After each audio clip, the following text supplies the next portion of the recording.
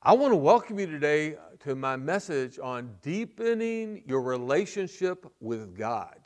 Today we're going to talk about deepening, going deep with God. And so I want to welcome you to this message. This message is part of a series I'm doing called uh, Experiencing God, Experiencing uh, God. And so I'd like to begin uh, with a question. And the question is this Do you desire to experience God every day and in every way. I want you to think about that, all right? Do you desire to experience God every single day of your life and in every single way uh, of your life? Well, I'm pretty sure your answer is absolutely. That's what I want.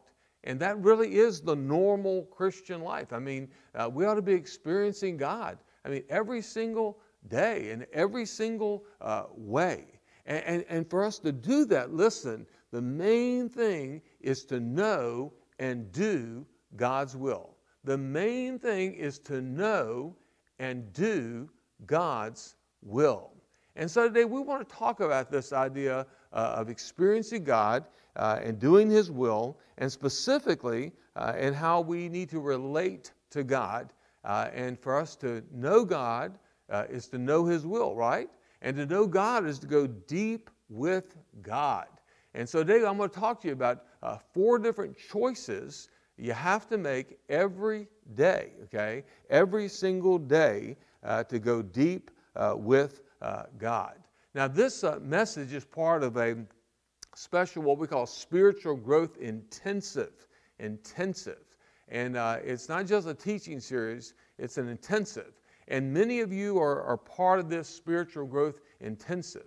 And I want to just encourage you listen, you know, we have a book we're using uh, called Seven Realities of Experiencing God. I want to encourage you to be faithful in that. Uh, we're encouraging you to memorize uh, the Bible verses. I want to encourage you to be faithful uh, in that uh, area. In other words, I'm trying to encourage you, listen, hey, let's, let's put all we have into this. All right, it's it's it's going by fast. All right, we're already uh, at week uh, number four. All right, so things are moving along here. All right, so I want to encourage you. Listen, go all in.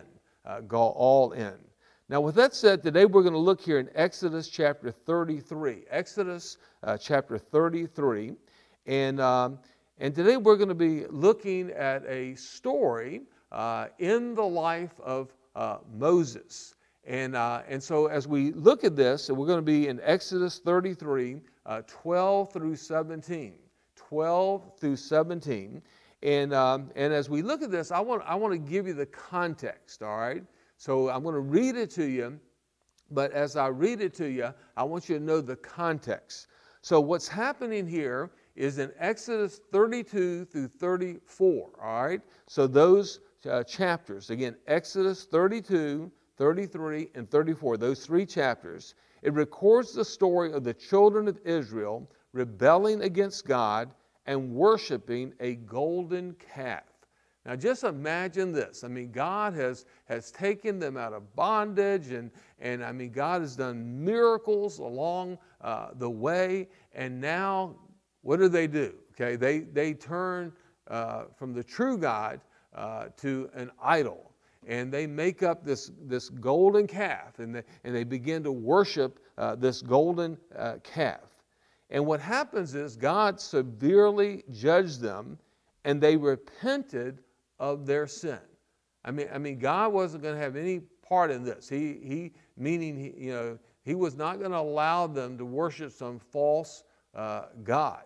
And, and he disciplined them. He, he judged them in a very severe uh, manner. Now, what did they do? They, they repented. They, they turned back to God, all right? They turned back to God. And it's so interesting that after all this turmoil, all that went on, all right, Moses meets with God. And that's what we are going to read about here today. He's meeting with God. And Moses poured out his heart, asking, listen, to know God's way that he might know God and find grace. We're going to see it today. He's going to say, God, I want to know your way so I can know you and I can find your grace. And God, I love this. God assured Moses of his presence, his grace, and I love this part the most that he knows Moses by name. He says, Moses, I know you by name. In other words, I mean, they had a, a deep, deep relationship. And quite frankly, they're going deeper. They're, they're going uh, deeper. And, and that's the Christian life that God has designed for all of us to experience God deeper and deeper as we uh, live uh, for Him. So, with that in mind, let's read Exodus 33, beginning in verse 12, down through verse 17. It says, Then Moses said to the Lord, See, you may say to me, Bring up this people, but you have not let me know whom you will send with me. Yet you have said, I know you by name, and you have also found grace in my sight. Now, therefore, I pray, if I have found grace in your sight, show me now your way, that I may know you, and that I may find grace in your sight.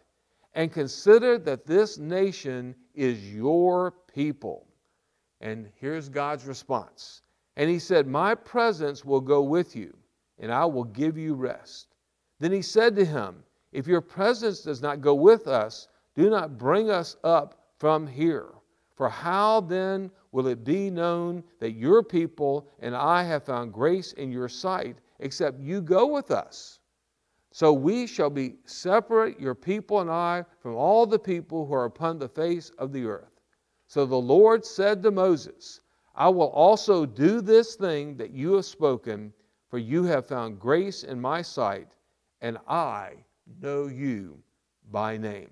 What an incredible conversation that we see here. And so part of this series, Experiencing God, is really to highlight the life of Moses. And this is one of the most significant uh, points in Moses' uh, life uh, where he's having to deal with this, this backslidden people that, he, that he's trying to that he, he's trying to lead all right i mean the fact that they would you know he's actually you know uh, you know, getting the Ten Commandments and all that kind of stuff, and, and, and, and they become impatient and, and, and they begin to, uh, you know, create a false God, a, a golden calf, and they begin to worship that golden calf. And God does judge them, and, and, the, and the good news is they turned uh, back to God. But Moses, at this critical point, has this kind of you know, meeting with God to, to talk about uh, the situation. And, and Moses, again, he's just pouring out his heart to God. And, and I love what he says uh, here, where he says, uh, Show me now your way that I may know you. Show me now your way that I may know you. And God says to him, My presence is going to go with you. All right? My presence go with you. And I love Moses' attitude because I can relate to it. God, if you're not going, I'm not going. Okay, in other words, I, Moses said, I don't want to go anywhere without you, God. And sure enough, that's how we all should, should uh, you know, live out our lives. Of course, as, as Christians, once we're saved, God is in us and, and we have His presence. But the whole idea here is that Moses wanted that assurance of God's presence uh, in his uh, life. And I just love the fact that, that uh, God said to him, Moses, I know you by name. I know you by name. Wow, what an incredible example of deepening your relationship with God. Now, with that said, let's talk about how to deepen your relationship with God. And uh, as we're doing this, I want to once again show you a diagram. And this diagram is the seven realities for experiencing God. The seven realities for experiencing God. And this uh, diagram comes from the book we're using uh, called The Seven Realities of Experiencing uh, God. And, uh, and this diagram shows these seven realities. And, uh, and so today, uh, we're looking, as you can see on the screen there, see the little shading there? It's kind of kind of hard to see, but, but number two, see, see number, number two there is shaded. And what we're going to talk today about is relationship relationship. Reality number two is we have to have a, a relationship with God. And, and to spell this out, experiencing God reality number two is this God pursues a continuing love relationship with you that, listen, that is real and personal. I love this. Reality number two God pursues a continuing love relationship with you that is real and personal. Wow. You're talking about experiencing God. I mean, it's real, it's personal, the relationship you have with God. Now, to do that, I want to talk about four choices to make every day. And the thing you got to understand is this it's not automatic, all right? I mean, all relationships uh, require effort, right? I mean, if I'm going to have a, a, a, close relationship with my wife, I, I gotta I gotta put something into it, right? I have to I have to put some effort into it. The same with my children, my grandchildren, the people that I have the privilege of pastoring. Uh, you know, uh, any and all relationships, all right, require putting forth some effort, and, and it's no different with God uh, in the sense that we have to, you know, put forth some effort uh, to to have this type of relationship uh, with God. But here's the good news God wants that type of relationship. James 4 8a says, Draw near to God, and he will draw near to you.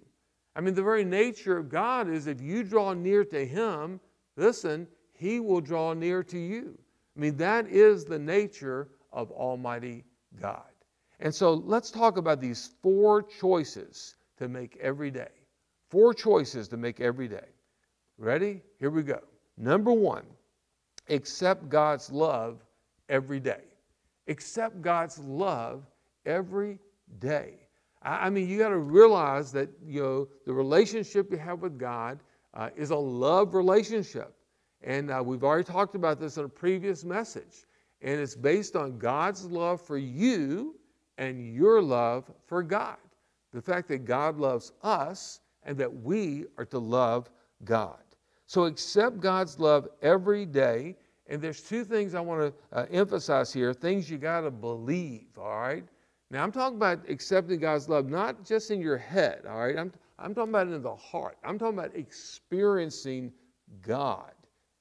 Experiencing God. And experiencing God is that love that we have. And so, number one, believe that Jesus gave his life for you. Believe that Jesus gave his life for you. Part of accepting God's love every day is to believe that Jesus gave his life for you. I love 1 John 4 9 through 10. I love this passage. It says, In this the love of God was manifested toward us, that God has sent his only begotten Son into the world that we might live through him. In this is love, not that we love God, but that He loved us and sent His Son to be the propitiation for our sins. Praise God. And notice it says, the love of God was manifested towards us. And then also in verse 10, it says, in this is love. In this is love. What's it talking about? What, what's been manifested that, that demonstrates God's love? What is the this is love? Well, the answer is the cross. The cross. The, the fact that, that Jesus Christ uh, gave his life uh, for us. Uh, God has sent his only begotten Son of the world that we might live through him. That we might live through him. And why, why did he come? He came to be the propitiation for our sins. That's, that's kind of a fancy word, all right? What the idea behind propitiation is the, the substitute uh, for our sin. He, he atoned uh, for our uh, sin. And, and, and, listen, this was a, an act of love, right? That he gave himself for us. And I love that statement that we might live through him. He wanted us to live, not on our own, but through him. You got to believe that, okay? You got to believe that. And then, number two, listen to this believe nothing can separate you from God's love. Now, listen, the enemy is going to do everything possible to get you to doubt God's love. This is part of what we call spiritual warfare. Every Christian deals with this. All right? So, so if there have been times where you've doubted God's love. You know, welcome to the normal Christian life. All right? I mean, we've all been through it, particularly, you know, when we go through a hard time or, or whatever. I mean, it's easy for the enemy to say, well, you know, if God really loved you, you know, he wouldn't let this, this go on in your, in your life, you know. But that's not true. God loves us. In fact, in Romans 8 38 through 39, it says, For I am persuaded that neither death, nor life, nor angels, nor principalities, nor powers, nor things present, nor things to come, nor height, nor depth, nor any other created thing shall be able to separate us from the love of God which is in Christ Jesus. I mean, what beautiful, beautiful words. I mean, nothing it says, Nothing can separate us from the love of God which is in Christ Jesus our Lord. And so, listen, just know no matter what we're going through, all right? And maybe today you're going through a hard time, you know? I get it, okay? I, I, I, I get it. I understand, all right? Uh, but listen, you got to believe nothing can separate you from God's love. And, and, and, even when you're going through pain and, and problems and, and things of life, I mean, God loves you, all right? You, got to cling to that, the love of God. This is the choice you make, right? It's a choice. You have, you have to make a decisive choice in your life because if you don't make that choice, okay, I can assure you you're not going to go deeper with God. But when you believe that Jesus gave his life for you, when you believe that nothing can separate you from the love of God, and listen, you accept God's love in your life every single day, you're going to go deep with God. Number two, give God first place every day. Give God first place every single day. Matthew 6:33. This is part of the most famous sermon ever preached, the Sermon on the Mount. Jesus preached that sermon. And in that sermon, he said in Matthew 6 33, but seek first the kingdom of God and his righteousness, and all these things shall be added to you. But seek first the kingdom of God. Put, put him first in your life. Put, put him first. Put his righteousness first. I mean, I mean, know what God says is right and do it, all right? Put him first in your life. And, and this means to live, you know, with Him number one, right?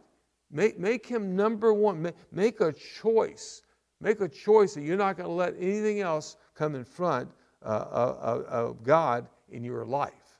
Now, let, us get practical. Let's, let's talk about some practical aspects of putting uh, God first. And quite frankly, this could be kind of a, kind of a lengthy list because the Bible actually describes uh, things that are first, okay, things that we're to be doing, like that show God is first. Uh, and I just want to highlight uh, three of them, all right? Again, this list could be longer. But number one, uh, give God first place in your day. And here's one way to do that have a daily quiet time. A daily quiet time. Now, basically, what I'm talking about is every day have what I call an appointment with God, all right? A quiet time. And in this appointment, you know, you do two things, all right? Minimum two things. Number one, you have time in the Bible, all right? And then you have time in prayer. And, and mainly through the Bible, God speaks to you, and mainly in prayer, you speak to God. Now, I'm using the term quiet time. And this is tied to Psalm 46:10a. Psalm 46:10a. It says, "Be still and know that I am God." I mean, just let, just let that roll over your heart today. Be still. Be still and know that I am God. You know, this is honestly, this is one of the hardest things in the world for me to practice.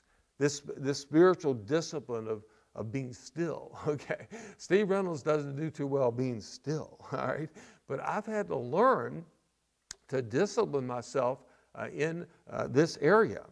Be still. I, listen, take time to be still. Take time to be still and know God. to get to know God. And, and, and again, two things to do during your quiet time. Number one, uh, uh, search the Bible. Uh, I'm picking up those words from Acts 17 11. Here the Bible says, These were more, uh, these were more fair minded. These were more fair minded than those in Thessalonica, in that they received the word with all readiness, and they searched the scriptures daily to find out whether these things were so.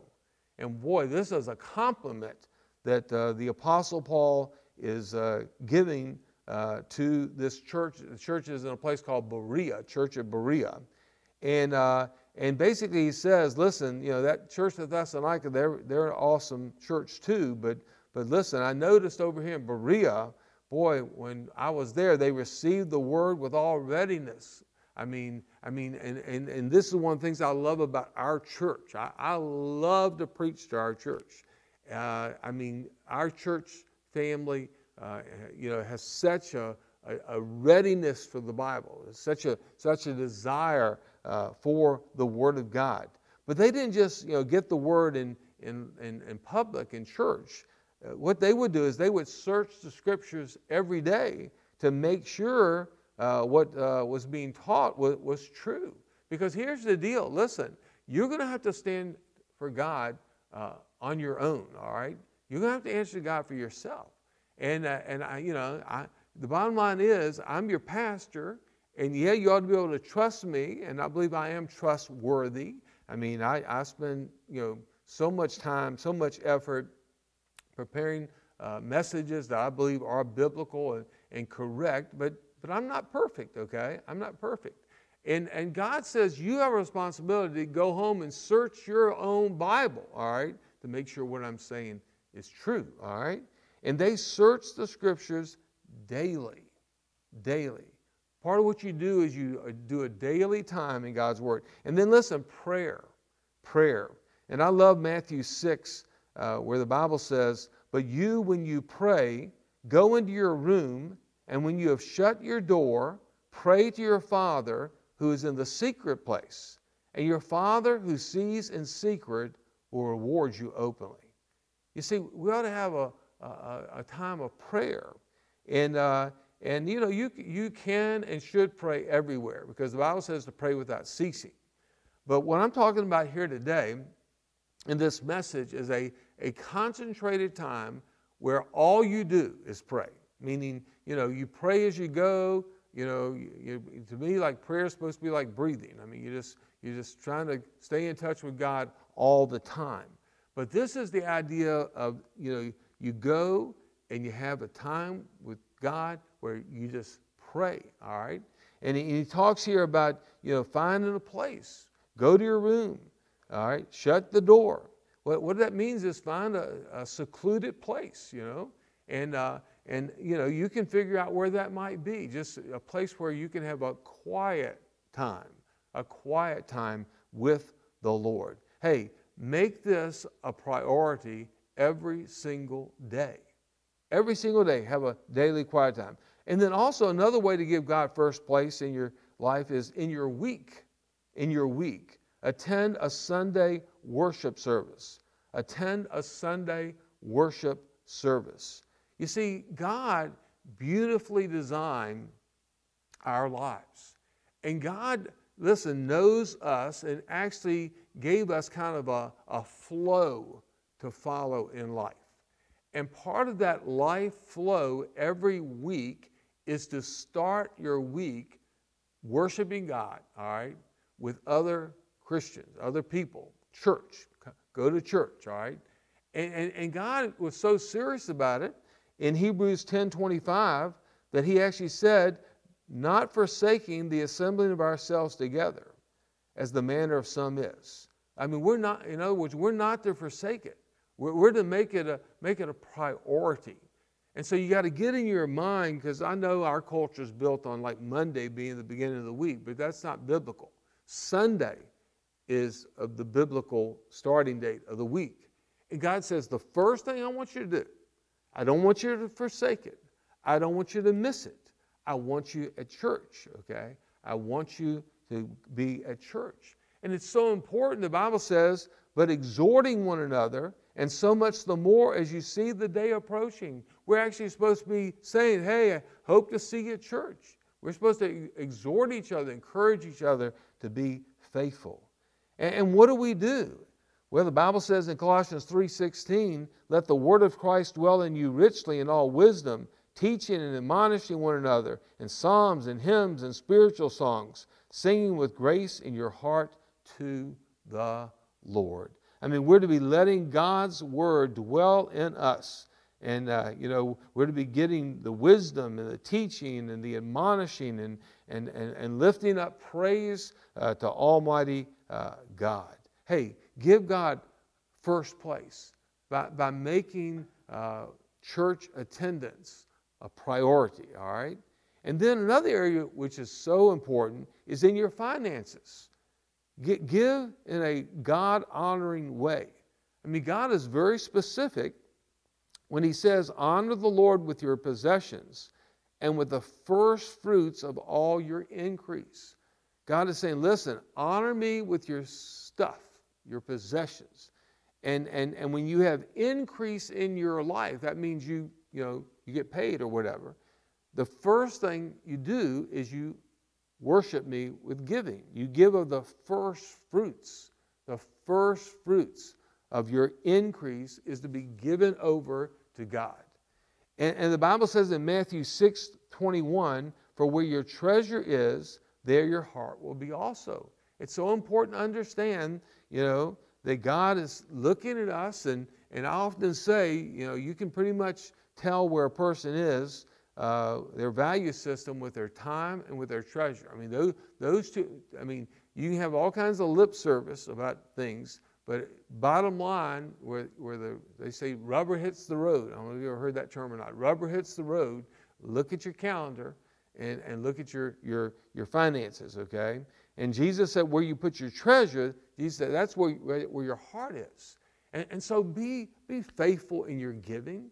Uh, you know, be generous uh, in your giving. Uh, you know, be systematic in your giving. Be proportional. Uh, be a tither and give offerings over and above uh, the tithe. Hey, listen, this is a choice. You got, you got, you got, you got to choose what's going to be first in your life. But if you're going to go deep with God, He can't be second or third or fourth or fifth or sixth. He's got to be number one in your life. All right, so how to deepen your relationship with God. Choice number one, accept God's love every day. Choice number two, give God first place every day. All right, you ready for two more? Here they go. All right, choice number three, obey God's will every day. Obey God's will every day. So as we're moving through experiencing God, uh, the whole idea of this is knowing and doing God's will, right? And hopefully, what we're doing so far is really starting to have an influence on you. I know it's having an influence on me. Ho- hopefully, it's impacting your life. And the whole idea is God is going to reveal His will. You have to obey it.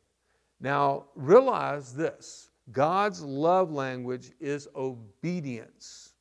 God's love language is obedience. Now, I'm kind of taking off on a kind of a cultural thing. Maybe you don't even know about it. Uh, a lot of people do, but a lot of people don't. All right. There's this, and, and I think it's I think it's really important. I, I, you know when I first heard about this, I thought, you know, is this like some psychobabble or whatever? But I don't think it is. I, th- I think it's very, very uh, important. And that is when you communicate to people, you want them to feel love feel loved.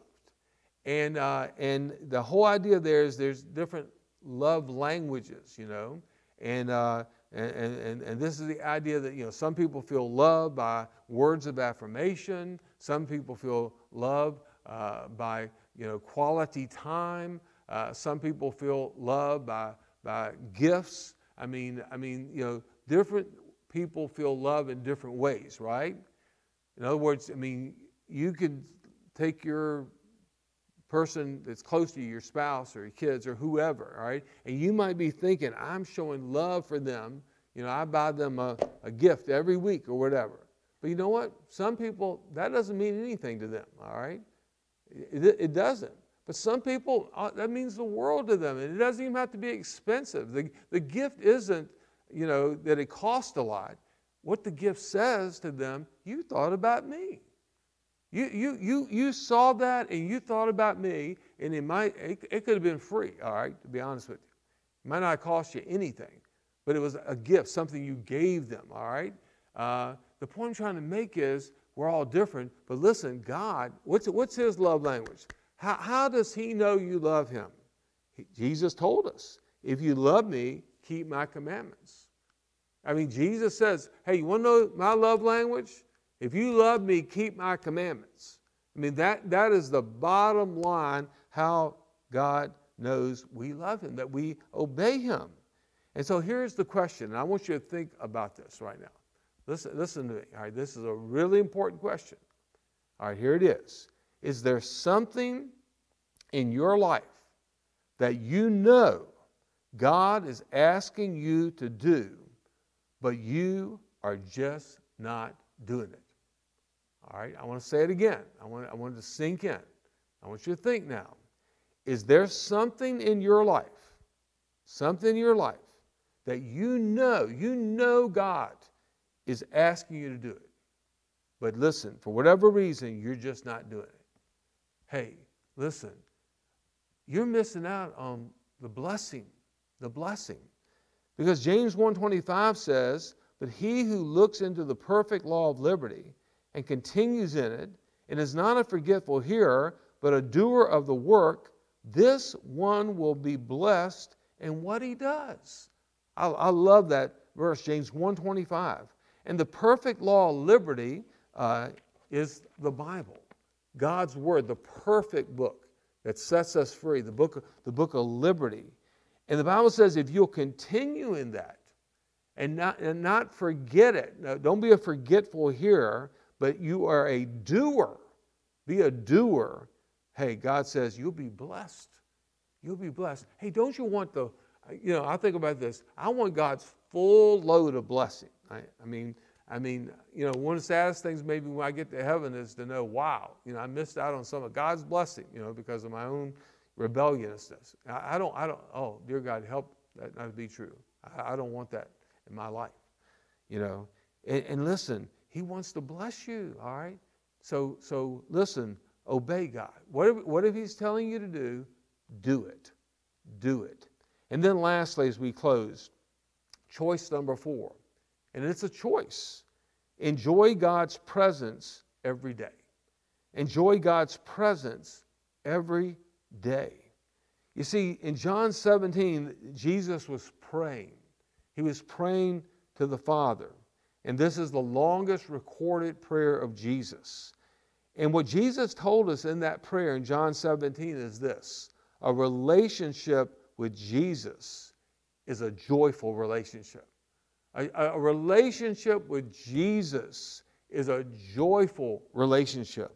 John 17, 13, listen to what Jesus says. But now I come to you, and these things I speak in the world, that they may have my joy fulfilled in themselves. Jesus is praying to the Father, he says, Father, I'm in the world, okay? I'm, I'm, I'm in this world, and listen, my heart Jesus says, is I want my joy fulfilled in them. I, I, want my joy to be fulfilled in them.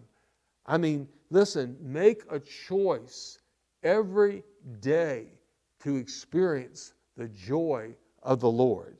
And listen, with that, do not let anxiety rob you of joy. You know what? I'll be honest with you. I, I, I think these are the most anxious times uh, of my life as far as what people are dealing with. There's so much anxiety in this world, all right? So much anxiety. And, and, and, and anxiety robs us of joy. It robs us of joy. The Bible says in Philippians 4 4 to rejoice in the Lord always. Again, I will say rejoice. Paul says, rejoice in the Lord, rejoice in Jesus. And he repeats it. Again, I say rejoice. And then listen, he says, okay, Paul knew, all right? E- even in the first century, people dealt with anxiety, right? Anxiety is nothing, nothing new, right? Nothing new. And he told them, listen, be anxious for nothing. God, God says, listen, handle your anxiety. Be, be anxious for nothing. Nothing. He says, listen, rather than be anxious in everything by prayer and supplication with thanksgiving, let your request be made known to God. In other words, rather than, than, than, than be anxious, pray. Rather than worry, let your request be made known to God. That's the joy place. Bring it to God. And the Bible says, and the peace of God, which surpasses all understanding, will guard your hearts and minds through Christ Jesus. Hey, listen, I don't know what's on your heart today. What, what are you anxious about? You know, it's hard not to be anxious, right? But listen, that robs us of the joy, right? That robs us of the joy. So part of going deeper with God, all right, is having a relationship with Him that rather than being anxious, we find joy in Him. And, and, we take our anxiety and we bring it to God and we put our trust in God, all right? So, what do you need to lift up to the Lord today in prayer? What, what do you need to say to Him? Let your request be made known unto God. Hey, God wants you to experience Him, all right? But you know what? You got to go deep. You got to go deep and deep and deep and deep. You got to keep on going deeper and deeper and deeper in your relationship with Him. And as we close today, you got to make a choice. Actually, four choices. And the choice is this accept God's love every day. You got to believe it. You got to believe His love. You got to give God first place every day. You can't let anything get in front of Him. Listen, you got to obey God's will every day. Every day. Whatever He says to you to do, you do it. And then lastly, enjoy God's presence every day. Deepen your relationship with God. Again, experiencing God, reality number two. Here it is God pursues a continuing love relationship with you that is real and personal.